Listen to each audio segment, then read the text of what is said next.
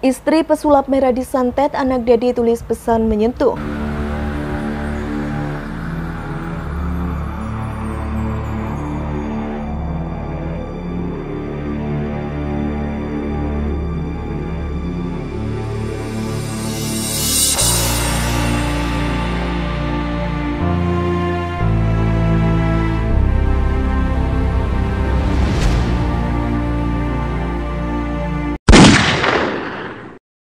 Dapur berita artis terkini. Hai guys, semoga kabar Anda baik-baik saja. Selamat datang kembali di channel Duster Infotainment. Terima kasih karena sudah memberikan support dan juga kesetiaan Anda untuk membangun channel ini. Di tengah isu perceraian yang menerpa Dedi Mulyadi dan Ani Ratna Mustika, sang putra menuliskan kalimat menyentuh. Tulisan anak Dedi dan Ani ini menjadi salah satu berita artis terheboh entertainment.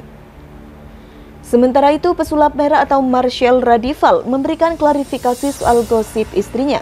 Tika Megalestari sakit karena santet. Kemudian Rosa akhirnya buka suara setelah dirinya digosipkan menjadi selingkuhan dari Reza Arab. Pingin tahu lebih lengkapnya? Simak rangkuman beritanya berikut ini. Yang pertama, pesan menyentuh anak Dedi dan juga Ani.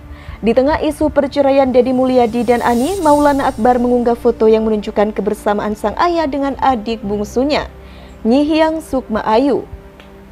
Dia pun menuliskan kalimat menyentuh pada unggahan tersebut di akun pribadi di Instagramnya. Harum abadi wangi sejati, tulis Maula Akbar. Yang kedua, pernyataan Rosa soal Reza Arab. Rosa mengisyaratkan bukan selingkuhan dari Reza Arab lantaran dirinya lebih menyukai pria bermata sipit. Menjawab pertanyaan netizen, aku suka yang sipit-sipit, sudah itu saja tulis Rosa di Twitter. Dan yang terakhir, istri pesulap merah disantet. Pesulap merah menegaskan bahwa rumor istrinya disantet adalah palsu dan sebuah kabar bohong.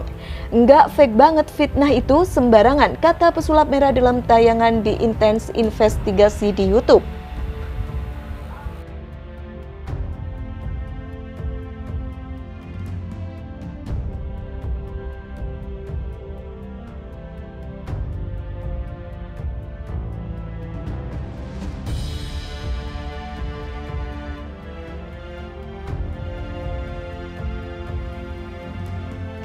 Pesulap merah diteror usai bongkar praktek dukun. Pesulap merah alias Marcel Redival mengaku kediamannya sering kali diteror oleh orang tak dikenal. Teror tersebut diduga imbas dari kiprahnya membongkar trik dukun. Marcel Redival sempat diinformasikan oleh Pak RT rumahnya dicari oleh orang tak dikenal menggunakan motor mewah.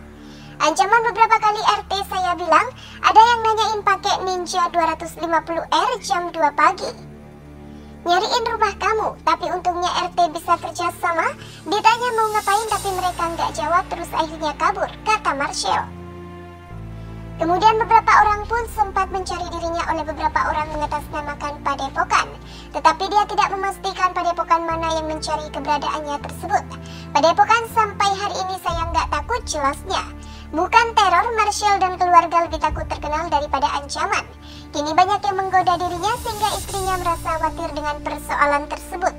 Keluarga saya enggak, istri malah lebih khawatir ke wanita di TikTok. Banyak yang bilang idaman gitu-gitu. Saya live cuma senyum di video dijadiin video jedak-jeduk, ungkapnya.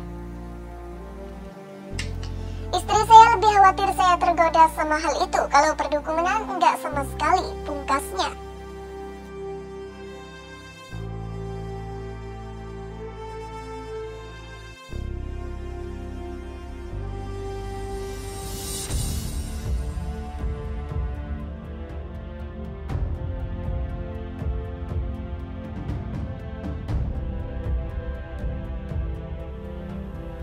Pesulap merah dilarikan ke rumah sakit, ini faktanya.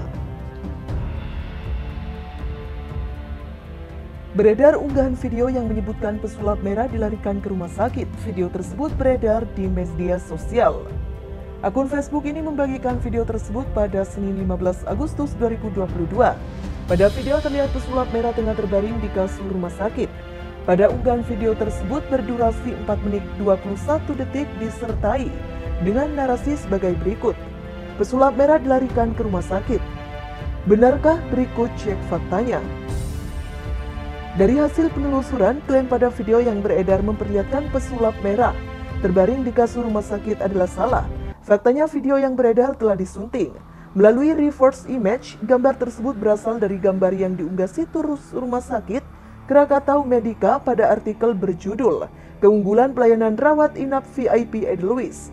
Foto yang terbaring pada gambar sampul artikel diganti dengan wajah pesulap merah. Begitu pula setelah video disimak hingga selesai tidak ada pernyataan yang menyebut bahwa saat pesulap merah dirawat di rumah sakit. Sejumlah klip dalam video itu pun hanya menjelaskan tentang perseteruan pesulap merah dengan Persatuan Dukun se-Indonesia. Pesulap merah dilaporkan ke Polres Metro Jakarta Selatan pada Selasa 9 Agustus 2022. Seperti diketahui nama pesulap merah atau bernama asli Marshall Radival tengah menjadi perbincangan belakangan ini setelah ia kerap menampilkan trik-trik perdukunan Perseteruannya dengan pendiri Padepokan Nurzat Sejati Blitar, Gusam Sudin pun tidak luput dari sorotan di media sosial.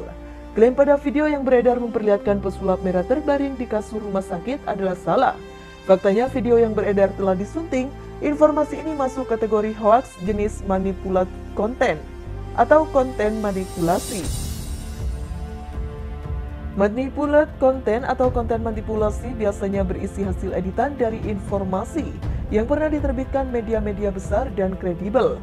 Gampangnya konten jenis ini dibentuk dengan cara mengedit konten yang sudah ada dengan tujuan untuk mengecoh publik.